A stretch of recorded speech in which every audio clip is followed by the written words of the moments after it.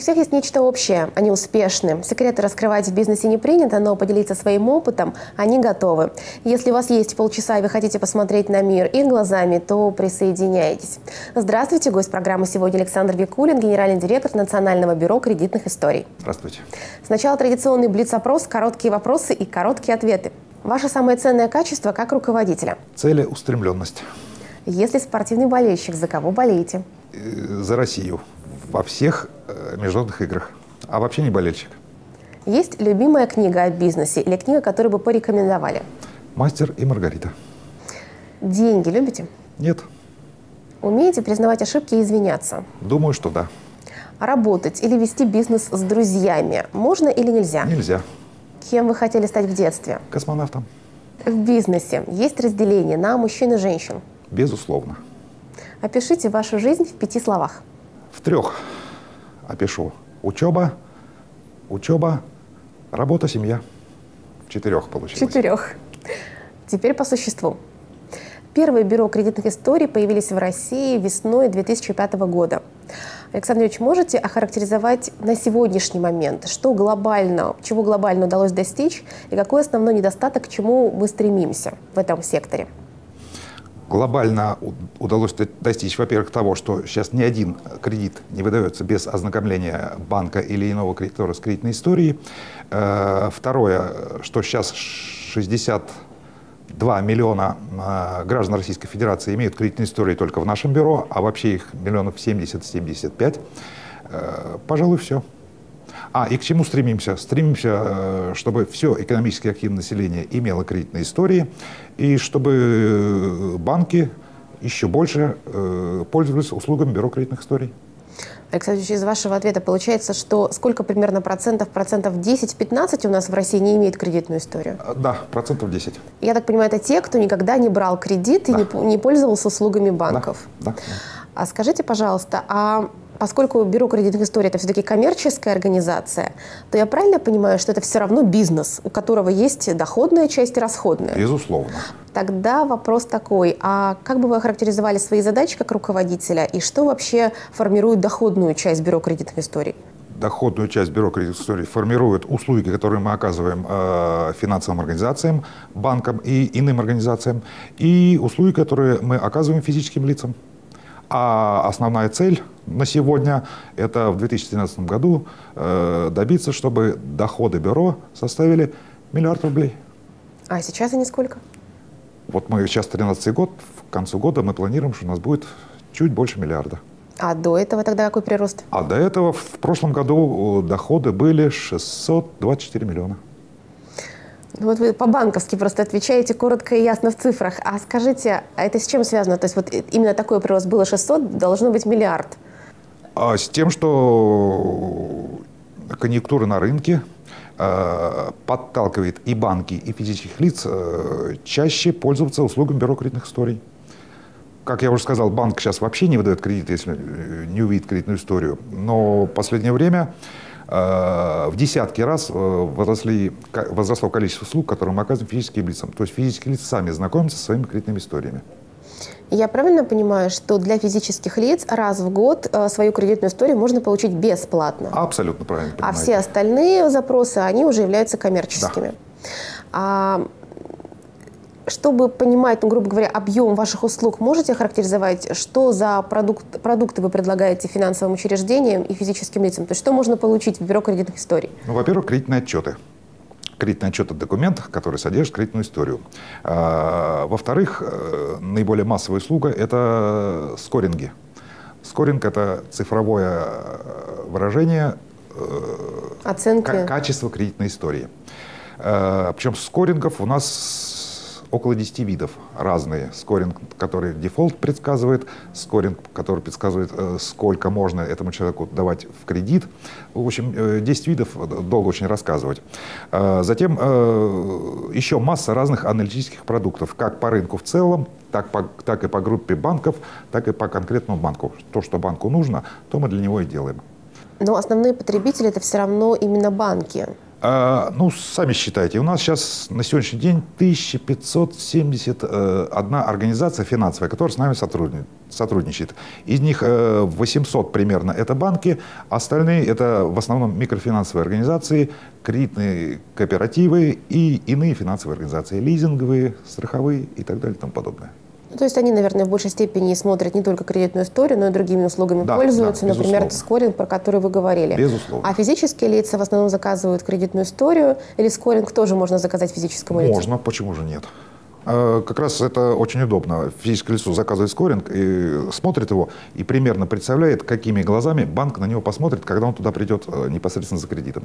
А какой тогда процент э, населения Российской Федерации вообще обращается за этими услугами? Мне почему-то кажется, что наша финансовая грамотность не настолько высока, что люди приходят, заказывают в бюро скоринг. Безусловно, пока это мало. Но услуги физических лиц вообще мы начали оказывать в 2008 году только. Э, и там были единицы. Э, но каждый год э, это увеличивается примерно в три раза. Сейчас мы ежемесячно выдаем физическим лицам услуг около 50 тысяч. А когда вы говорите о физических лицах предоставлении услуг им, это происходит опосредованно через банки или можно напрямую запросить у бюро? То есть как эта логистика происходит? В связи с тем, что бюро обязано один раз, один раз в год кредитную историю выдавать бесплатно, а, мы э, кредитные отчеты выдаем через наших агентов, которые могут быть и банки, и не банки, и вообще кто угодно. Насколько я знаю, в банке, когда мы получаем кредитную историю, я имею в виду частные физические лица, мы получаем все равно платно. Безусловно, конечно, Банк, платно. Потому что услуга конечно, банка, конечно. потому что... Вы же сами сказали, мы все-таки коммерческая организация. Да, и вот как раз коммерческая организация, как раз был следующий вопрос. Давайте охарактеризуем вообще рынок. Как в России выглядит рынок бюро кредитных историй? Сколько их у нас? А, всего а, на сегодняшний день 25 бюро, из которых 21 э, не имеет никакого значения, очень маленькие, региональные, и про них э, никто ничего не знает. И четыре э, крупных бюро. Это на первом месте, естественно, мы, Национальное бюро кредитных историй. Затем идет Equifax, бюро, которое создано при банке Home Credit. А, на третьем месте идет Experian, бюро, которое создано при Сбербанке Российской Федерации. И на четвертом месте э, бюро «Русский стандарт», созданное при одноименном банке. Можно я на секунду перебью вас? А вот когда банки создают, ну так скажем, каптивные бюро, ага. А это не противоречит э, некому, а, ну, во-первых, закону о том, что в этом случае банк является э, ну, выгодоприобретателем, так скажем, во-первых. А во-вторых, а зачем им свои бюро? Это же несколько непрофильная деятельность. Э, абсолютно с вами согласен. Просто рынок так развивается, в общем-то, везде. На первых этапах, а рынок у нас только 8 лет этот существует, крупные банки – крупные розничные банки, угу. а все, которые я назвал... Да, это розница. Да, да, да, это розница. Они не хотят делиться своей информацией с другими банками. Именно в силу того, чтобы сохранить свои... Клиентскую базу. Конкурентные позиции. Вот. Наше бюро, в отличие от них от всех, создано э, группой банков. Изначально их было 30 акционеров у меня. Сейчас стало чуть-чуть меньше, э, 28 акционеров. Все банки э, и поэтому вот наше бюро, в отличие от всех остальных, создано банками для всех других банков, и поэтому мы всегда на первом месте, а, и они вынуждены нас всегда догонять. Даже несмотря на то, что мы все знаем, что такое Сбербанк, как я раньше упомянул, он пока всего лишь только на третьем месте. Ну, я так понимаю, что там задача у их бюро просто обслуживание интересов Сбербанка и никакая более другая. У вас все-таки, так понимаю, это в большей степени бизнес и а, предоставление услуг на рынке. Да, но они пытаются последние два года выйти на весь рынок, но, как я уже сказал, у них это не вполне получается. А на чем вообще строится конкуренция среди кредитных бюро? А, количество и качество, количество информации и качество представляемых услуг. Все как везде примерно. Ну, то есть, например, у вас количество информации больше, потому что вы работаете с большим диапазоном банков? И не банков тоже. Да, у нас э, информации больше, чем у всех. Э, 62 миллиона граждан Российской Федерации имеют кредит истории только в нашем бюро. Эти граждане имеют примерно 110 миллионов кредитов. А, ну и услуг э, по количеству мы оказываем ежемесячно больше, чем э, все остальные вместе взятые. Эти четыре я имею в виду, эти три. Угу, я вас поняла. А вот вы как бюро чувствуете конкуренцию среди э, коллег? Или... Еще, еще как в связи с тем, что они вынуждены нас догонять, они, некоторые из них, э, занимаются откровенным демпингом. То есть то, что нужно э, продавать за 10 рублей, они продают за 10 копеек. С этим трудно бороться, но мы боремся. Ну, я так понимаю, что это касается скорее дополнительных услуг, не непосредственно. Да нет, нет, нет. Это касается, и касается да, и да, самой информации да, тоже, да? Да, да, да, именно. Так, и тогда каким образом вы думаете наращивать свою долю на рынке? Улучшением качества услуг. Как, как, То есть не, как не снижением рынке. цены? Нет. А у нас, э, кстати, кредитные отчеты самые дешевые в мире. Даже не в Европе, даже не в Америке, а в мире. Именно потому, что э, мы э, в 2005 году Сначала мы сделали линейку по совету наших американских партнеров. Там где-то кредитная история стоила, если в долларах, от доллара до полутора. А потом мы подумали-подумали и снизили эту цену в два с половиной раза. И теперь, а за нами все потом потянулись. А теперь у нас кредитная история в России самая дешевая в мире чему э, наши российские банки чрезвычайно рады. Тогда продолжим после перерыва.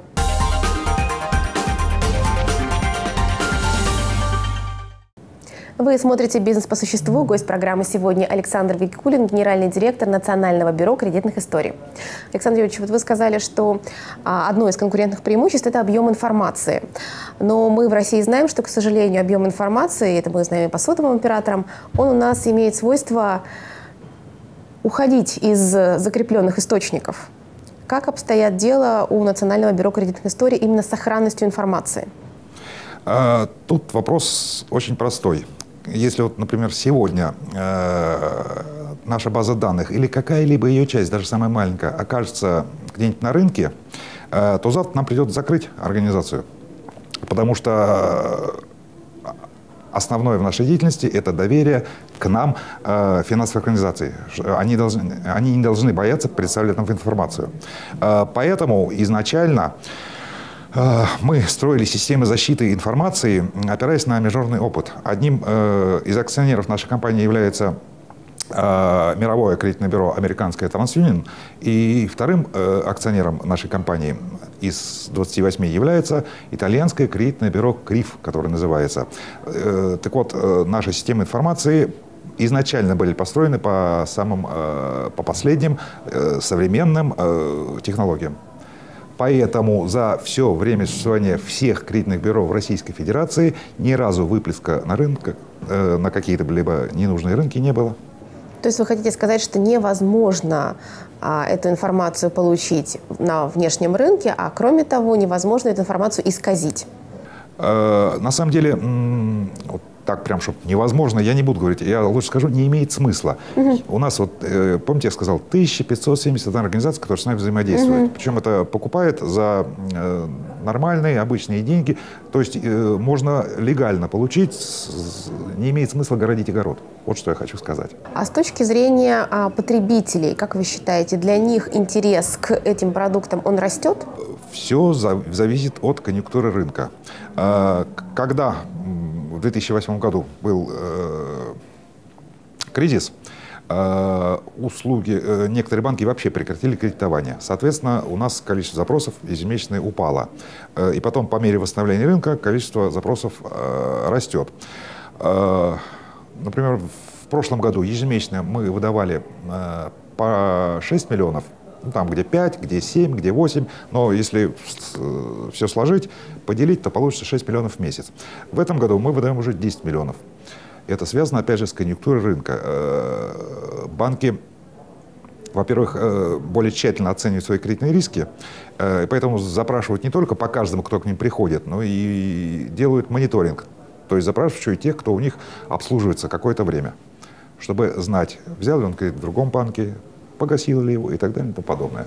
Вот если поговорить о рынке вообще потреб кредитования в России, Центробанк, а, говоря о том, что темпы роста потреб кредитования большие, а, вводил меры о дополнительном резервировании, ну, об увеличении резервирования по необеспеченным займам. Ну и кроме того, у нас есть э, политика ужесточения, регулирования именно потреб кредитования. Как вы считаете, а темпы роста этого рынка будут снижаться? Нет, мы так не думаем. Темпы роста потребительского кредитования снижаться не будут. Э, да, действительно, Банк России уже где-то полгода обеспокоен э, ростом рынка беззалогового потребительского кредитования вводят какие-то новые нормативы. Но, еще раз говорю, банки в ответ на это более тщательно подходят к оценке каждого кредитора. Соответственно, кому можно выдавать, выдают кредиты, кому можно выдавать, выдают под более низкий процент, кому нельзя, не выдают. То есть вы считаете, что в связи с этим банки а, активнее, ну так скажем, изучают, более трепетно относятся к своим клиентам, да. к, к кредитному портфелю? Да, что очень хорошо для бюро кредитных историй. Ну да, это увеличивает объем работы. Еще вопрос по поводу, по поводу регулирования этого рынка. А, было, по-моему, предложение по поводу того, чтобы другие организации, в том числе там коммунальные службы, предприятия, которые, которым платят население за оказанные услуги, предоставляли информацию в бюро кредитных историй, чтобы оценить а, платежеспособность потенциального клиента. Это как-то Формализовалось? Это, нет, пока это не формализовалось, пока это существует на уровне законопроекта, который будет, э, по нашей информации, приниматься в осеннюю сессию. А как вы вообще относитесь к этой инициативе? Это необходимо, вы считаете? А, все, что э, поможет банку лучше оценить э, платежную дисциплину заемщика, все это идет в плюс и, конечно, поможет. Поэтому мы оценим исключительно положительно. А какие еще дополнительные источники информации вам были бы интересны с точки зрения партнеров для а, предоставления? Я, я понял. Нам интересно все, что интересно банкам. Вот, например, банкам чрезвычайно интересно и нужно подтверждать доход заемщика. Но ни пенсионный фонд, ни налоговая служба пока э, категорически не решают им этого делать. Поэтому вот, э, нам, как и банкам, было бы интересно, чтобы человек придя в банк, э, подписывал согласие не только на получение кредитной истории и представление информации в бюро кредитных историй, но и проверку его дохода в налоговой службе либо в пенсионном фонде. А какой основной аргумент налоговых органов? Э, да до смешного доходит. Э, пишем им туда письмо, потому что сейчас по закону, по действующему, органы государственной власти вправе представлять нам информацию, но не обязаны. А вот раз они не обязаны, значит, им это не нужно. Пишем туда письмо. Уваж... Э, министр, уважаемый министр, мы э, по неоднократным требованиям банковского сообщества э, хотим с вами организовать информационный обмен, посвященный тому-то, тому-то, тому-то. Весь информационный обмен будет осуществляться исключительно, как требует налоговый кодекс, исключительно с согласия с подписанным налогоплательщиком. Поэтому просим Ответ. Э, информационный, информационный обмен не может быть налажен, потому что в соответствии с налоговым кодексом такой обмен а, может осуществляться только с согласия налогоплательщика. Вот как Понятно. это оценить? То есть не хотят пока. Э, пока их не заставить, э, ничего не будет. А Но мы положительно оценим перспективы. Рано или поздно мы этого добьемся. У нас есть Последний пример. Тут как-то недавно Банк России озаботившись ростом э, беззалогового потребительского кредитования, захотел, чтобы э, в новой версии закона э, он имел право получать э, кредитные отчеты, причем бесплатно. А зачем? А чтобы анализировать э, как всю банковскую систему, э, кредитный портфель всей системы, так и кредитный портфель отдельных банков, чтобы более четко представлять, угу. все, что ему нужно. Э, ну, мы в соответствии с Конституцией Российской Федерации, с гражданским законодательством, э, в нескольких местах очень громко сказали, что э, услуги у нас в России представляться даже органам государственной власти бесплатно не могут. Потом это база данных – это наше имущество. Забирать у нас просто так имущество тоже, в общем-то, по Конституции Невозможно. нельзя. Да. Нас услышали, и из последней версии законопроекта это право Банка России исключили. Чему мы рады. Александр Ильич, а скажите, а что вы считаете, ну, может быть, риском развития вот этой отрасли индустрии в России? Есть такие? Что могло бы, ну, там, я не знаю, как это негативно повлиять на дальнейшее развитие? Или все так чудесно? Ну как, в России живем, вдруг, не знаю, придут коммунисты к власти и социализм опять начнут строить. Соответственно, пока существует рынок, мы будем себя чувствовать хорошо. Вот если у нас рынка и кредитования не будет, тогда и, и бюро станут не нужны. Ну, я надеюсь, у нас кредитование останется. Я тоже так думаю. Тогда последний вопрос к вам. Скажите, интервью кого из коллег, из бизнесменов, из банкиров вы бы с удовольствием посмотрели? Ну, если из банкиров, то э, нового представителя Центрального банка я бы с удовольствием послушал. Эльвиру Набиулину. Спасибо вам большое, что вы нашли время и пришли. Вам спасибо. Гостем программы был Александр Викулин, генеральный директор Национального бюро кредитных историй. Пересмотреть и перечитать его интервью можно также на нашем сайте www.посуществу.ру. Удачи вам и до встречи.